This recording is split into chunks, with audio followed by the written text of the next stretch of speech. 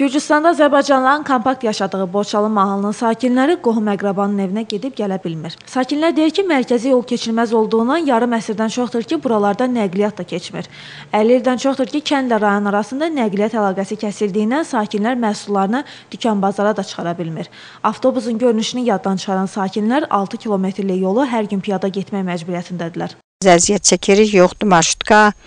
Elə gediş gəlişimiz əziyyət çəkirik. Malımız var, aparıb sata bilmirik. Piyada gedirik, piyada da gəlirik. Bəlkə yolda nə bilim elimizin kimsə insaflı ola, əyliyə götürə, insafsız da elə yolda yeyək, piyada əlirik, piyada da edirik. Neçə ildir söz verilir, yollarımız düzələcək, ancaq yoxdur kömək. Elə ona görə də bu kəndə e, gəliş geliş də nə marşrutkalar işləmir. Buraya kəndə bir məsəl üçün bir avtobus gəlmir, nə marşrutka gəlmir. Mən 55 yaşım var. Mən 55 ildə hələ burada bir dənə marşrut görməmişəm. Yolumuz çox pis vəziyyətdədir. Qaldı da uşağımız Qardabana məktəbə gedir, gedib gələ bilmir. Özümüz gedib gələ bilmirik, əziyyət çəkirik, biraz əkin-tikin qayırırıq, onu da aparıb sata bilmirik. Maraqlısı odur ki, kənddə bəzi dəyişiklikləri seçkilər zamanı görmək mümkündür. O da 1-2 günlük. Sonradan hər şey əvvəlki vəziyyətlə qayıdır. Seçki qabağa gəldi, bir bir dənə şey traktor göndərdilər. Kənd arası yolları elə bir kərə getdi, gəldi, onunla da qutardı.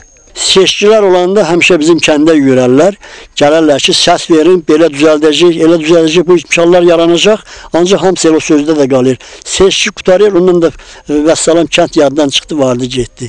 Qardabanədə direktor işləyən Elşad Həsənov 37 ildir ki, 6 kilometrlik yolu piyada gedib gəlir. Dediyinə görə əvvəllər kənddə müəllim çox olub, amma yolun yaratdığı problemlər müəllimləri öz yurd yuvalarından didərgin salıb və onlar kəndi tərk ediblər. Mənlə bərabər neçə nəfər müxtəlif bəhanələrlə yolun bərbad olmasına əlaqədar çıxdılar, getdilər. İndi hal-hazırda 9 illik məktəbdir. Kadr çatışmazlığı var. Şəhər mərkəzi yerli kadrlar yoxdur. Şəhər mərkəzindən də istənilən müəllim bu piyada yolu 6 kilometr yolu gedib gəlmək istəmir. Sakinlər dəfələrlə aidiyyatı qurumlara müraciət etsələr də kəndin problemi ilə maraqlanan olmayıb. Maraqlanmaq üçün axı 6 kilometrlik yolu piyada gəlmək lazımdır. Nəzərinizə çatdıraq ki, 50 ildən artıq bu yollarda ayaq döyən soydaşlarımızın vəziyyətlə maraqlanmaq üçün bir dəfə ayaqla getməyə dəyər. Aytən Tağıyev və Nadir Almazoğlu, Məsim Əhmədov, Son xəbər Gürcüstan.